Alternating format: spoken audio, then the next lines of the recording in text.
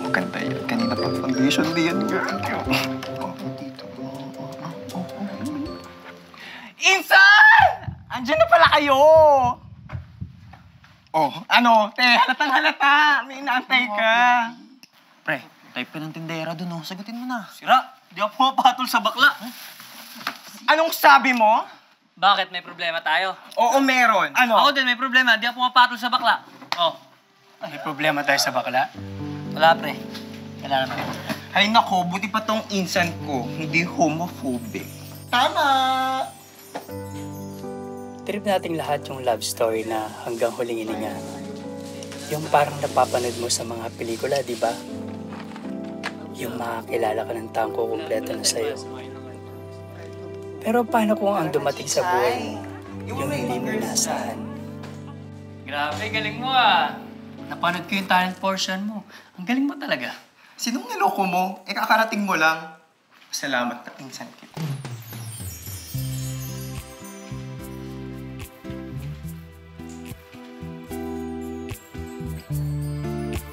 Si Chiche ba yan? Ganda niya. Ibig ko sabihin, kahit naman nung di pa siya masyado nagme-makeup,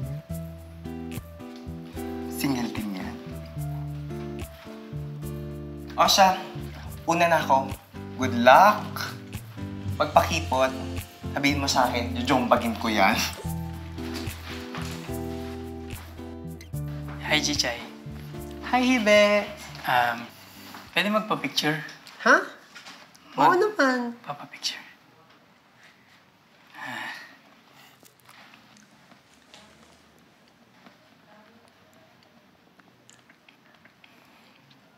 Di mo pa ba i-click yung camera? Ay, ako nga pala. Sorry.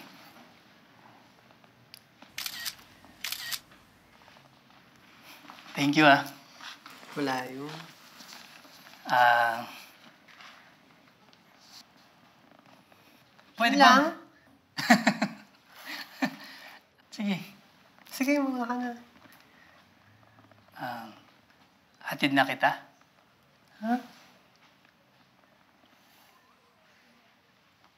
Salamat. Tara.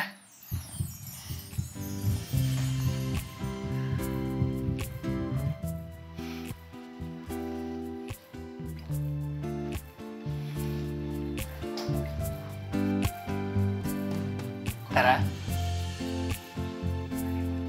Madali akong nahulog sa'yo. Pero ang isang relasyon, komplikado. Hi,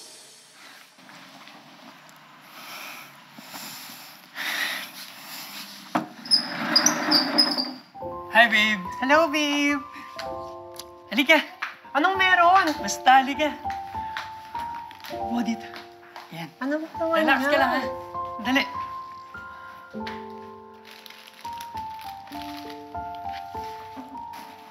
Happy anniversary! Para sa'yo.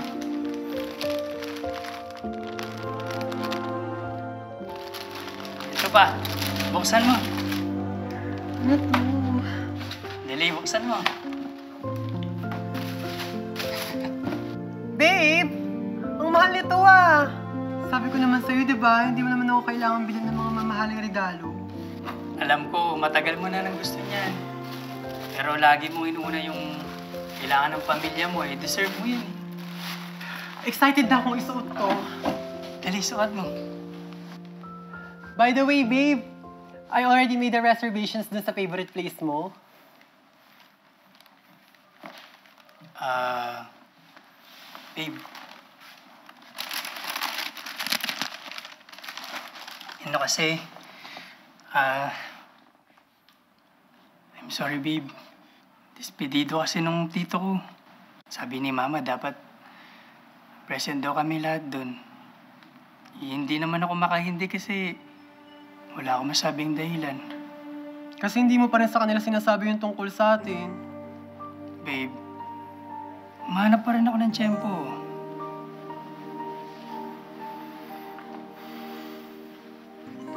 I'm okay. Sabi ko naman, di ba? Okay lang sa akin magantay kung kailan ka ready magsabi sa pamilya mo. sa mga kaibigan natin. Hindi naman lahat katulad sa pamilya ko na bata pa lang ako tanggap na ako. Hibi, alam kong hindi ito magiging madali para sa iyo. Pero minsan ang hirap lang eh. Kasi gustong gusto ko ipagsigawan sa buong mundo na ang swerte-swerte ko sa boyfriend ko. Na bukod sa gwapo, malambing, mabait, maalaga, para kong prinsesa kong tratuhin. Higit sa lahat, hindi mo pinaramdam sa akin na may iba sa akin. Sa atin.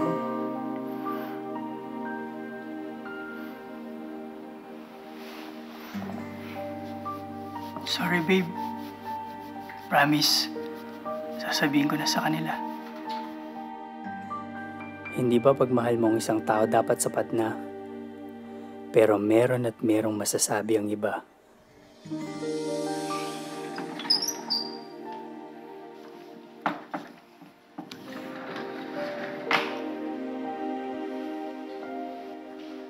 babe! Saan ka galing? Pawis na pawis ka. O teka, maupo ka muna. Kukuha lang ako ng bimpo para mapunasan ka.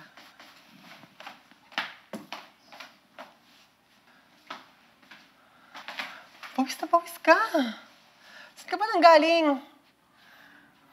Tignan mo.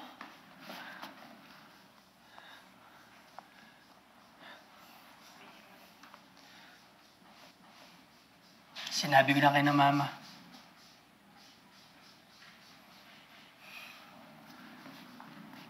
Okay lang. Nagulat lang sila. Sure ako, need lang nila ng time to accept and adjust. Tatanggap din nila tayo.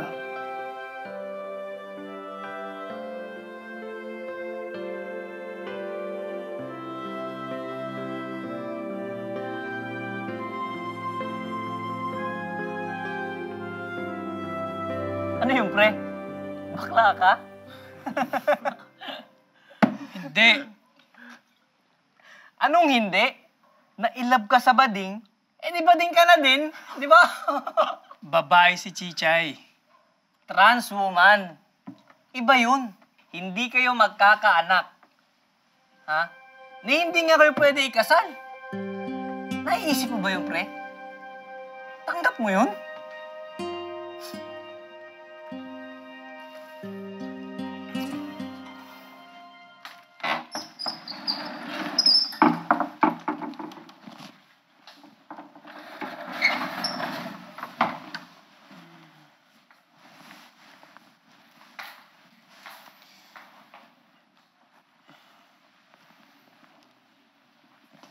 Babe, balis lang ako ah. Saan ka pupunta? Sa tropa ko. Di ba may job interview ka today? Narisked. Hindi mo naman nata sineseryoso yung paghahanap mo ng trabaho eh.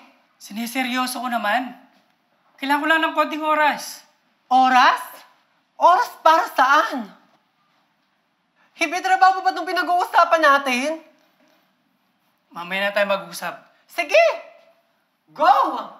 Diyan ka naman magaling, di ba? Ang umiwas. Lahat ng problema, imbis na pinag-uusapan, iniiwasan mo lang. Babe, pwede ba? Pagod lang ako. Ikaw lang ba? Ako din! Pagod na pagod na ako sa'yo, Hibi! Pakaramdam ko galit ka sa akin pero hindi ko alam kung ano yung dahilan. At ayaw mo naman yung sabihin sa akin. Babe, di ako, gal di ako galit sa'yo. Pero may problema ka sa akin, di ba?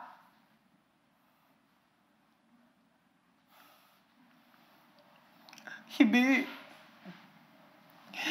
pagod na akong mahalin ka. Pagod na pagod na ako.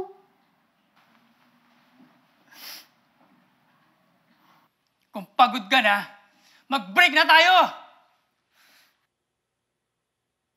Sige.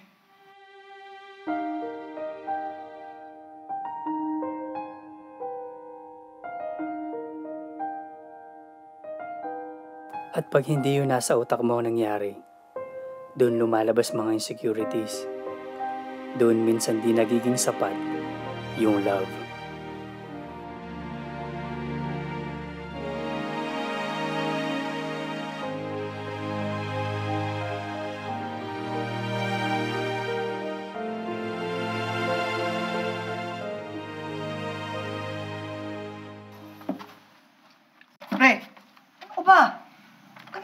Nagpapakutsuyo si Trixie, oh.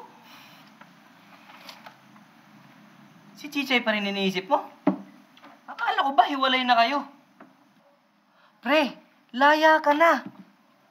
Yung pinoproblema mong hindi ka na magkakaanak at magkakapamilya, wala na. Hindi ko problema yon. Problema nyo. Laki ng problema nyo kay Chichay. Nagiging totoo lang ako sa'yo, pre. Komplikado yan si Chichay. Di rin kayo magtatagal. Anong komplikado doon? Hindi kami pwedeng magpakasal dito. Sa ibang bansa kami. Kung di kami magkakaanak, edi mag-aampon. Pinapahirapan mo lang yung sarili mo.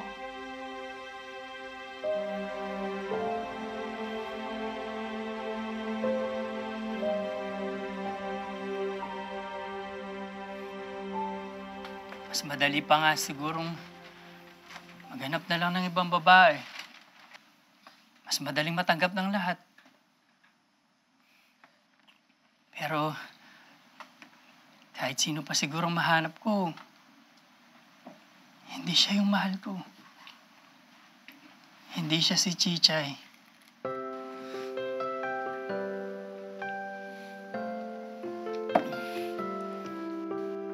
Kahit mahirap, siya pa rin palagi pipiliin ko. que simple.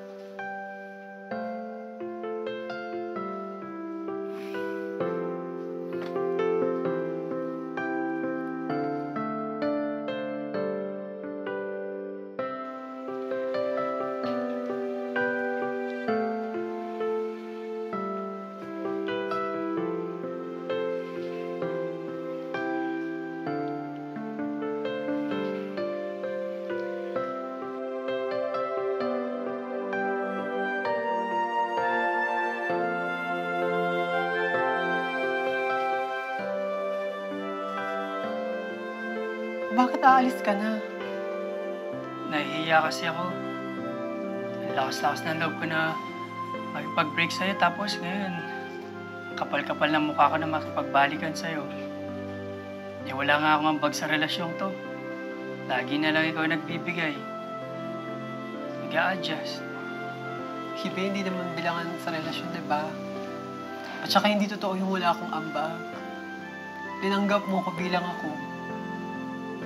Bilang isang babae. Yun lang. Babe, I'm sorry. Masyado ako nag-focus sa mga bagay na wala ako. Nakalimutan ko kung anong meron ako. Ikaw. Yung pinakamamahal. Pinakamahalaga sa akin. Babe, bigyan mo pa ako ng isang pagkakataon. Iligawan ulit kita. Papatunayan ko sa'yo na karapat dapat ako.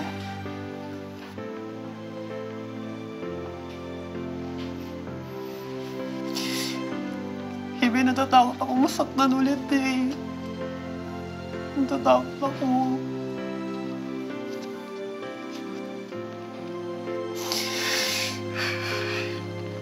But I'm willing to give it another try.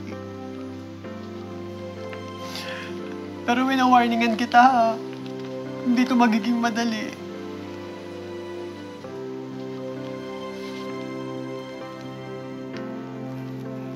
Thank you, babe. Promise. Hindi, hindi ka magsisisi.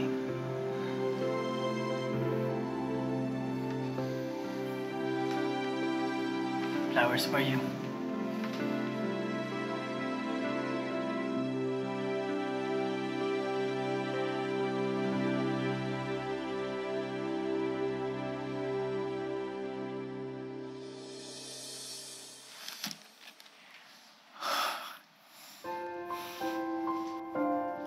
Babe!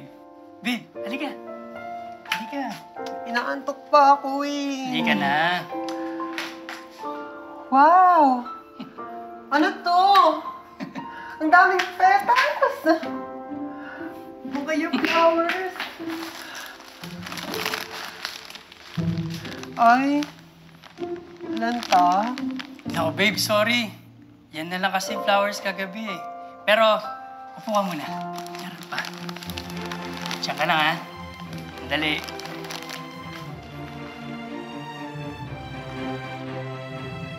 Siguro yung iba tingin sa akin bakla kasi transgender ang girlfriend ko. Okay lang naman sa akin kasi there's nothing wrong with being gay. Hindi ko rin naman kailangan i-explain ang sarili ko sa inyo. Sobrang mahal ko si Chichay. Kahit anong sabihin tungkol sa akin o sa amin, hindi pa rin mababago yung nararamdaman ko sa kanya.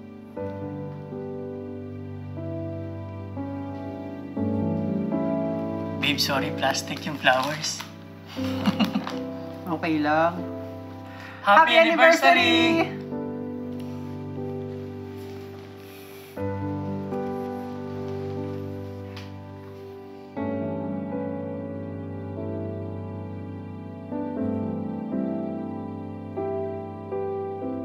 Basa ko yung post mo ha. Dami mong paandar. Di na kasi ako makapaghintay eh. Gusto ko nang ipagsigawan kung gaano ako kaswerte sa girlfriend ko. Kasi bukod sa napakaganda na, napakabait pa, thoughtful din, at mabait sa mga animals. At higit sa lahat, di niya ako sinukuan. Kahit na marami akong kulang at mali, ako pa rin ang pinili niya.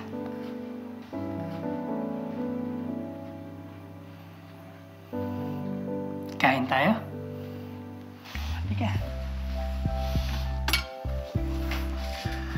Mahal na mahal kita, no matter what. Kahit magbihis lalaki ka ulit, mahal pa rin kita. Kasi yung love ko para sa'yo, sobrang lalim at totoo.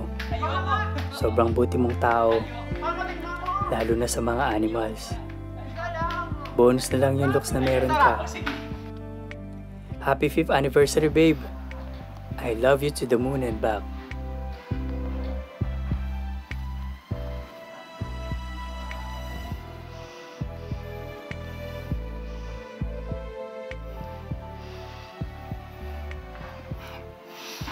Tara. Ang love at buhay, hindi parang sa mga pelikula at libro. Minsan, ang taong darating para sa'yo ay yung hindi inaasahan pero pipiliin mo ng paulit-ulit maging sino man sila. Kahit komplikado.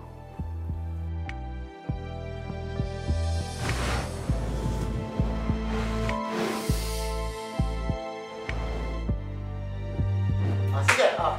Sige. Sige. Lalaki ka rin. Sumantay pa. Sige, lapit lapit ka. Sige. Paano din? Saka kayo na nila. Hibe problem. May, ano, Tor. Maghintay ako kung kailan ka ready pwede magsabing tungkol sa...